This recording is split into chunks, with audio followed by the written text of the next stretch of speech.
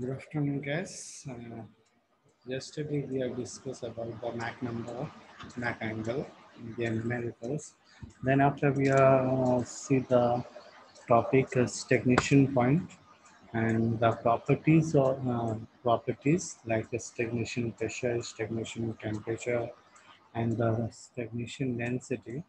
And then after we uh, discuss the numericals, today our topic is the area velocity relationship for compressible flow. And this, uh, whenever, uh, when we are starting this uh, topic, you just uh, remember the basic uh, means whatever we are discussed in the earlier age of this chapter, they are just sometimes remind in your mind, okay? So we know that the continuity equation for the compressible flow is rho into A into V, which is equal to constant. The above equation can be differentiated. Uh, we are getting uh, differentiation of rho into A into V.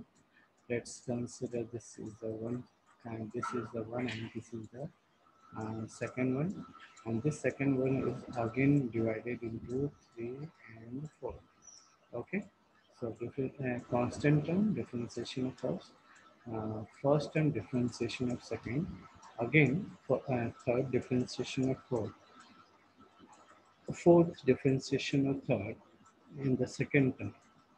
Ultimately, when we are dividing uh, the whole term with rho a into b, we are getting uh, changing velocity upon velocity plus changing area upon area plus changing density upon density is equal to zero. And when we apply the Euler's equation for compressible fluid flow, then we are getting dp upon rho plus v into dv plus g into d0 is equal to 0.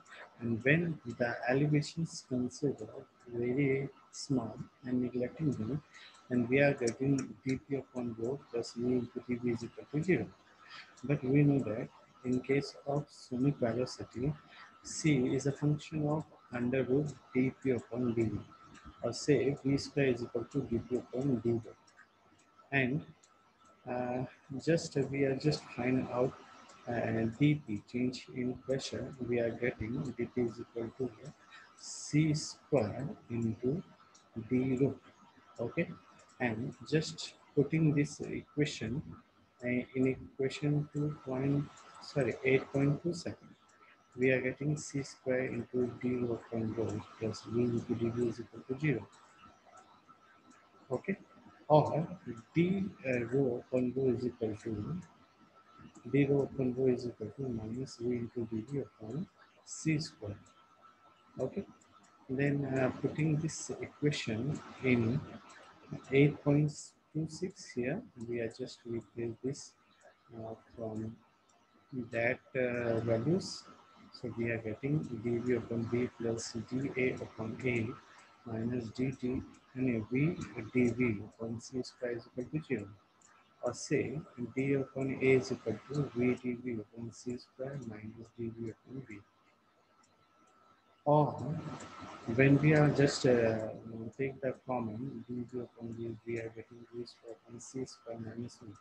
And we all know that dv upon c is the Mach number. So we are, get, uh, we are getting dv upon v into m square minus 1 or or change in area change in area upon area is equal to uh, dv upon v into m square minus 1 or from the above relationship the following terms can be drawn uh, means they are concluded that if the Mach number is less than 1, it is the subsonic. That means m square minus 1 is also a negative or dv upon v is greater than 0, then d upon a is less than 0. That means it is comes in a negative sign. This indicates that decrease in area increase the velocity. Uh, conversing measure uh, is the best example of this type of system. Secondly, if uh, dv upon v is less than 0, then d upon a is greater than 0, means it comes in a positive manner. and that indicates increasing area uh, velocity decreases. Okay, these two are the nozzle and diffuser where uh, uh, where d upon a is less than 0 and dv upon b is greater than 0. And in case of diffuser, d upon a is greater than 0 and dv upon b is less than 0. Uh, when Mach number is equal to 0, that means m square minus 1 is equal to 0 or change in area upon area is equal to 0. This means that the area is constant, no change in velocity. Hence, d upon a is equal to 0 and dv upon b is equal to 0. And when the Mach number is greater than 1, it is the supersonic flow. That means m square minus 1 is the positive number. Sorry, m square minus 1 is a positive number. That means dv upon b, if greater than 0, then dv upon a is also greater than 0. It is a positive sign. This indicates that increase of area velocity also increases. Okay. Divergent nozzle is the best example of this one. Similarly, if the again if the uh, dV upon A if uh, greater than zero, then again dV upon B is also uh, also greater than zero, which is comes in converging diffuser. Supersonic diffuser nozzle is the example where dV upon is greater than 0 then V upon is also greater than 4 and the values are in reducing. This means that increase of area velocity decreases. For example, um, the example of supersonic is the converging diffuser. Uh, from the above discussion, discussion, it is clear that the velocity of the fluid increase or decrease depends on the not only change in area, but also on the Mach number.